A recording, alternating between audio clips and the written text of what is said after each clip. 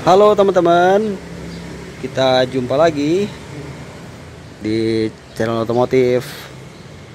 Teman-teman bagaimana kabarnya? Semoga sehat selalu ya. Doa kita bersama amin.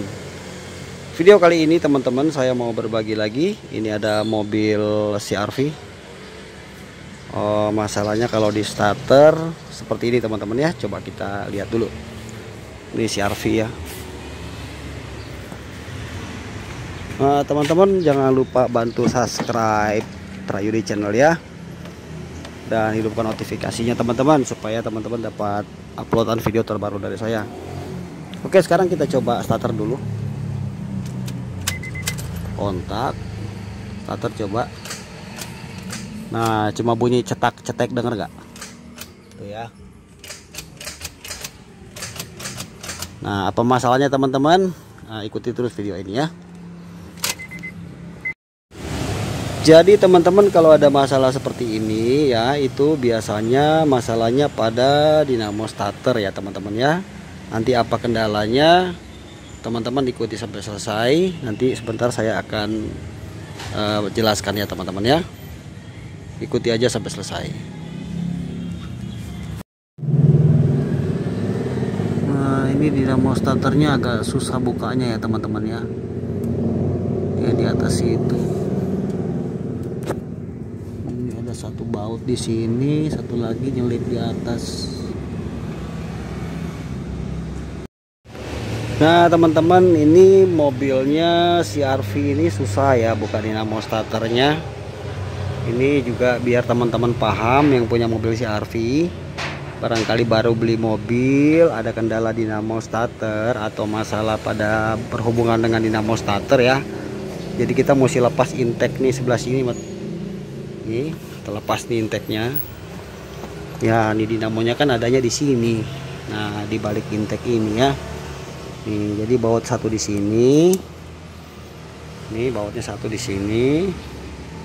Nah satu lagi di situ. Kehalangan. Ya jadi lumayan ribet buat buka dinamo starter untuk mobil CRV teman-teman. Tapi ya memang begini ya. Harus begini ya sudah nggak apa-apa penting kita bisa menyelesaikan masalah ini ya. Jadi tidak bunyi lagi cetak-cetek karena kalau bunyi cetak-cetek itu biasanya masalahnya di selenite switch ini ya yang kecil ini nih. Nah ini dia tidak connect untuk memutar si motor. Ya teman-teman ya jadi saya terus dulu ini untuk melepas dinamonya. Jadi biar teman-teman tahu ya paham kalau misalnya mobil ini untuk buka dinamo starternya lumayan ya harus bongkarnya macam-macam ribet. Oke teman-teman ini baut yang bagian dalam ya. Bautnya modelnya begini pakai kunci 14 kemudian satu lagi pakai kunci 17 nah ini ya. Jadi ada dua baut yang harus kita buka kalau mau melepas dinamo starter ini sama di belakang uh, di stranet switch itu kita copot juga uh, eh, 12 nih mur 12 sama kabel switch satu ya. Nah ini ya teman-teman ya. Ini dinamonya udah kita lepas. Ini bautnya dua biji. Nah teman-teman jadi uh, kendalanya tuh memang ada di selenite switch ya ini udah kosong. Oke. Jadi nanti kita akan bongkar ya yang bermasalah tuh di sini teman-teman. Nih selenite switchnya ini yang bermasalah ini. Ya jadi kita perlu ganti ininya saja teman-teman. Tapi kita cek aja semua dalamnya ya kondisinya bagaimana. Kalau mesti ganti karbon brush ya ganti juga sekalian Oke teman-teman jadi memang ini masalahnya di selenite switch ya yang ini. Nah ini saya sudah beli gantinya barunya teman-teman ya. Nah kalau misalnya teman-teman nggak dapat yang kayak gini ya ini kan orinya gini dia nih teman-teman. Ya ininya panjang nih kalau dibuka nih. Nih panjang kan kalau dibuka. Nah jadi kalau nggak dapat kayak gini mungkin susah ya ini sama ya ini CRV cuman ini ada perbedaan bagian belakangnya saja. Nah ini ya teman-teman. Ini. Nah ini sama cuman bagian depan sama cuma belakangnya sini beda. Nih. Nah kita mesti ngerubah sedikit ya teman-teman ya ngerubah di bagian belakangnya hanya kabelnya saja yang agak dipanjangin sedikit ya sama untuk uh, kabel silikon switchnya ini. Ya kabel switch dari dinamo start dari kunci kontak. Ya mesti kita rubah sedikit teman-teman. Tapi intinya ini bisa dipakai teman-teman. Ya soalnya nyari yang ori ini susah ya. Dan ini harganya 350.000 yang ini ini ya 350.000 harganya.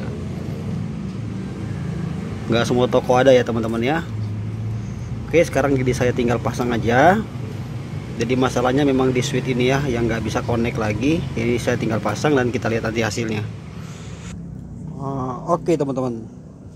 Sudah terpasang ya seperti ini kira-kira teman-teman. Nah, lanjut nanti kita langsung pasang ke mobilnya ya. Langsung kita pasang. Oke teman-teman ini udah terpasang ya. Tinggal kita tes. Ini kunci masih berserakan. Ini switch lamanya yang tadi ya. Oke coba kita tes ya teman-teman ya. Kita coba starter. Udah mau atau belum? Kalau tadi kan pertama cetak-cetek kita coba ya.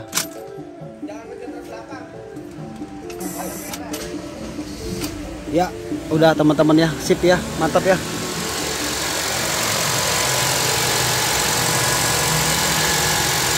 Langsung nyalakan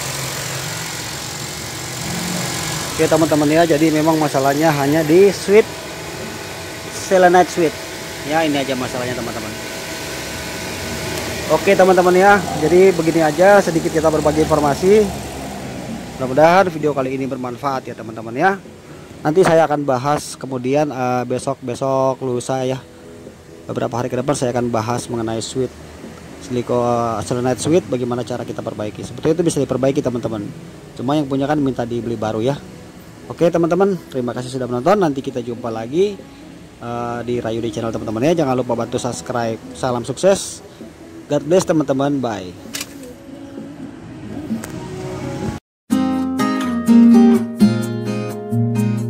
Mm-hmm.